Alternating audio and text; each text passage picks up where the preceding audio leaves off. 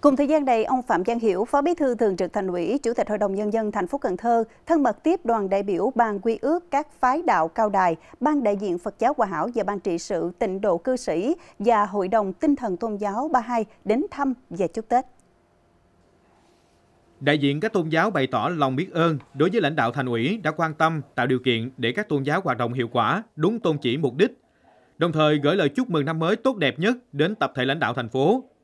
Phó Bí thư Thường trực Thành ủy Phạm Văn Hiểu thông tin tình hình kinh tế xã hội của thành phố trong năm qua. Đánh giá cao những đóng góp tích cực của chức sắc và tín đồ các tôn giáo vào thành quả chung đó. Ông Phạm Văn Hiểu mong muốn các tôn giáo tiếp tục phát huy tinh thần sống tốt đời đẹp đạo, đoàn kết cùng xây dựng thành phố văn minh giàu đẹp. Đồng thời gửi lời chúc mừng năm mới đến toàn thể chức sắc tín đồ, đạo hữu, đón xuân mới yên vui, hạnh phúc, đạo sự viên thành.